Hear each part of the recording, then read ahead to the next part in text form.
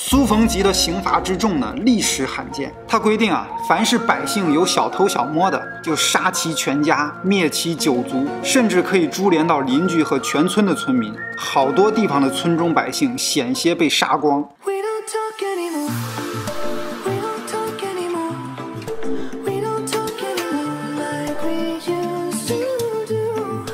大家好，我是尼可感性 K 哥，欢迎来到我的频道。我的频道是关于探索宇宙和未解之谜的。如果你还没有订阅我的频道，请点击下面的订阅按钮，打开小铃铛，当当，以后呢有精彩影片就不会再错过了。那我们开始正片吧。好，那今天呢，我们来到第十三项啊。呃，这边我放一张图，大家看一下啊。图里面有个城墙，这个城墙呢也叫城郭。这个城郭呢代表的就是姓氏郭。那上面的鸟也叫雀儿。那大家知道这个郭威的小名呢就叫郭雀儿。城郭前面呢有很多水，这个水呢代表是汉水，暗指的就是刘知远建立的后汉。那别的麻雀都在汉水上飞，暗喻很多将领呢带兵北上，只有郭威一个人借着攻打契丹之名返回京城做了皇帝啊，建立了后周。这个谶曰：“汉水竭，雀高飞，飞来飞去何所止？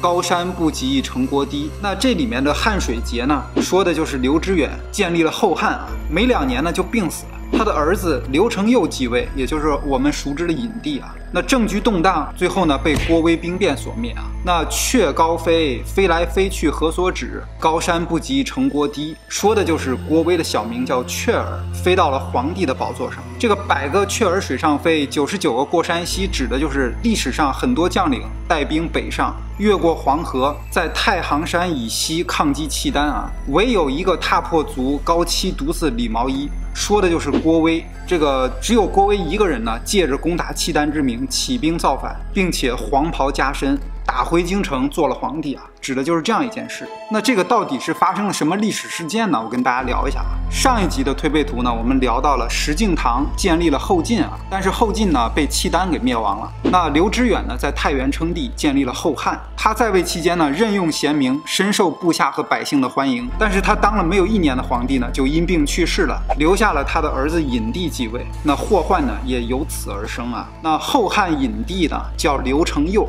刚刚继位不久，就重用酷吏苏逢吉，搞得整个朝廷人心惶惶。苏逢吉的刑罚之重呢，历史罕见。他规定啊，凡是百姓有小偷小摸的，就杀其全家，灭其九族，甚至可以株连到邻居和全村的村民。结果这条律法一出，好多地方的村中百姓险些被杀光，天下动荡不安。刘承佑的母亲告诫他：“你这样干下去，迟早会出乱的。”但是隐帝不听劝告，任由苏逢吉为所欲为。为了使使政令实施更加顺利，他们便谋划把有能力对抗朝廷的将军通通杀光。那这其中呢，就包括正领兵在外的大将郭威。由于郭威不在京城啊，杀他的行动呢无法得逞，隐帝便命人将郭威留在京城的妻儿老小满门抄斩。统兵在外的郭威闻知此讯，异常愤怒，随即矛头对准京师，誓言要报这血海深仇。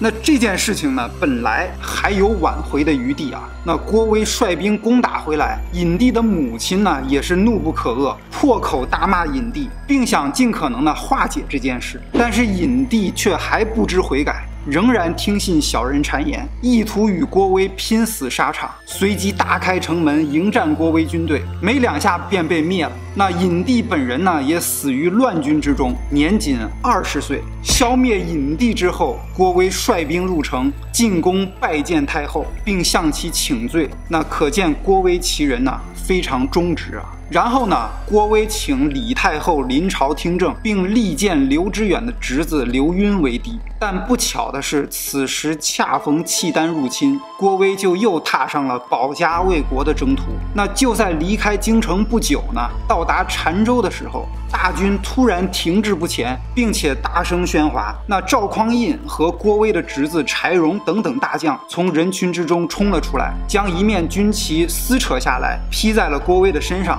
并高呼：“如今我等攻陷京师，如果再奉刘氏为主，那我们留在京城的亲人的性命，谁还能保？那请将军为大家着想。”那在众将士的拥立之下呢，郭威自立为帝，建立后周。而刘知远的侄子刘赟呢，听说郭威要立自己为帝，那这个时候呢，正快马加鞭的赶往京师啊，人到半路呢，就被郭威的部下给杀了。那后汉的残余势力呢，逃亡了北方，建立了北汉。郭威死后呢，他的侄子柴荣继位啊。那在柴荣的南征北战下，中原地区呢，逐渐归顺于后周啊。那这这一项呢，聊的就是这样一件事情。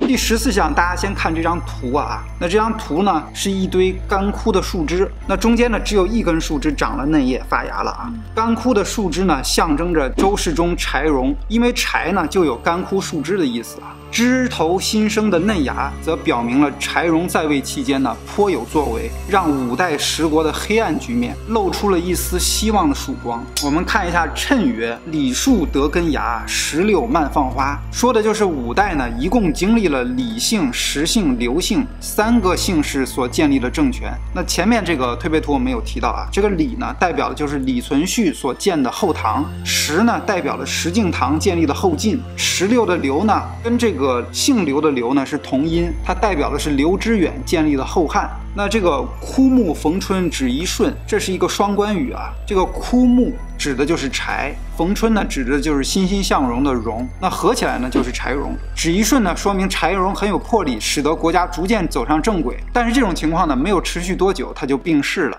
让他天下敬荣华，指的就是五代十国时期呢，各地藩镇首领争雄称霸，竞相追求荣华富贵，纷纷称王称帝啊。那下面看宋曰：“金木水火土以中”，指的就是五行流转，来表示五个朝代相继出现又相继灭亡。那十三童子武王宫，就是说这个朝代啊，一共有十三个人做了皇帝，其中五位是开国君主。童子的意思是他们在位时间都很短啊。那英明重建太平日，指的是人民终于迎来了圣德贤明的君主，那太平日子呢就要来了。五十三餐运不通，指的是五代一共经。历了五十三年，但是因为时运不通，所以战乱不断。那这一项到底发生了什么历史故事呢？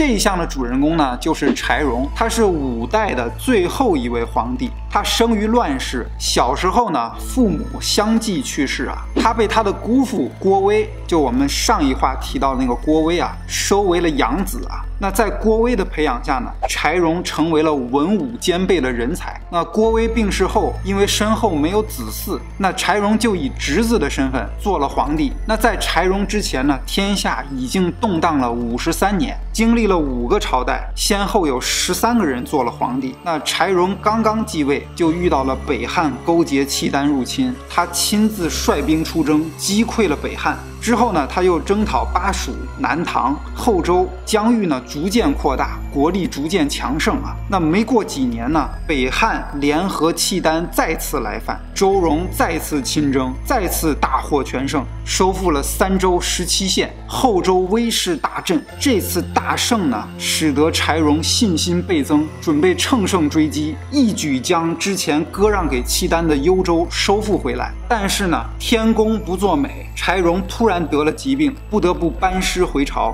不久呢，就病逝了。这个柴荣呢，是很了不起的一个人。他在位期间呢，任贤用能，改革吏治，整治贪腐，社会的管理呢，也逐渐走上了正轨。他还尽量的免除苛捐杂税，使老百姓呢，也过上了安宁的日子。在历史上，柴荣被称为五代第一明君。他不仅精明强干，而且处事谨慎，虚心纳谏，事必躬亲啊。那可能呢，也正是因为这种事事俱细的性格呢，成为好耗尽其心力的最大杀手，让他年纪轻轻呢就去世了，没能最终实现自己的理想啊。他当时定了一个目标，就是说以十年开拓天下，十年养百姓，十年治太平。他有这样一个政治理想。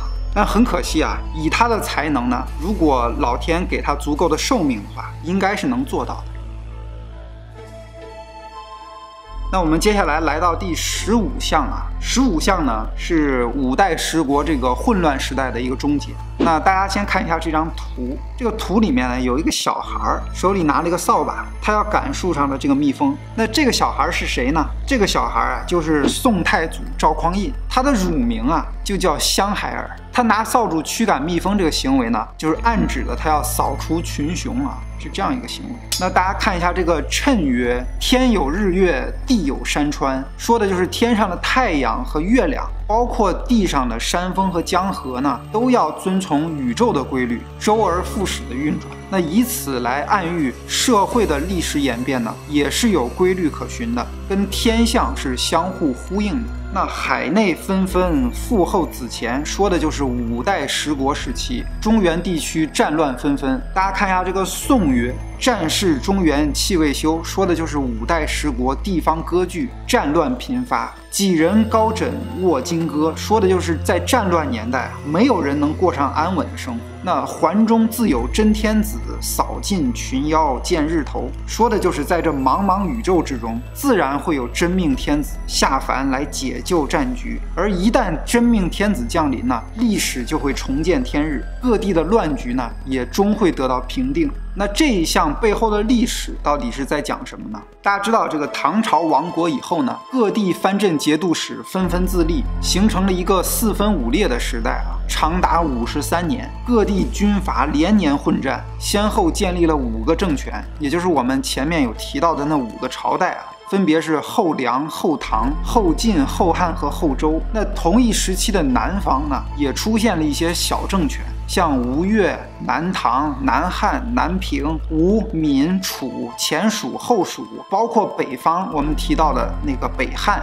所以这就是历史上所说的十国。那这一时期呢，被通称为五代十国。那公元九五七年呢，我们前面提到的这个后周世宗柴荣啊，他征讨南唐，李景大败，将长江以北割让给了后周。那他自己呢，也去掉了帝号啊，向后周称臣。那九百六十一年呢，李景的儿子李煜继位，这个就是历史上著名的南唐后主。那他才华横溢，善于诗词，但是在治理国家方面呢，却是乏善可陈。九百七十三年，北宋赵匡胤召见李煜啊，欲使其归降，被李煜拒绝。北宋随之出兵攻打南唐，两年以后，南唐灭亡，李煜被俘。那我们最后呢，就在这个南唐后主的这个著名诗词中啊，结束我们今天的推背。他有两首非常著名的词，我相信大家都听过。第一首叫《虞美人》，这个春花秋月何时了？往事知多少？小楼昨夜又东风，故国不堪回首月明中。雕栏玉砌应犹在，只是朱颜改。问君能有几多愁？恰似一江春水向东流。那第二首呢，也非常脍炙人口啊，就叫《相见欢》。无言独上西楼，月如钩。寂寞梧桐深院锁清秋。剪不断，理还乱，是离愁。别是一般滋味在心头。李煜这个人啊，治国无方，但是诗词写的还是不错。那这一期的推背图呢，我们就先到这里。那我们下期再见，拜拜。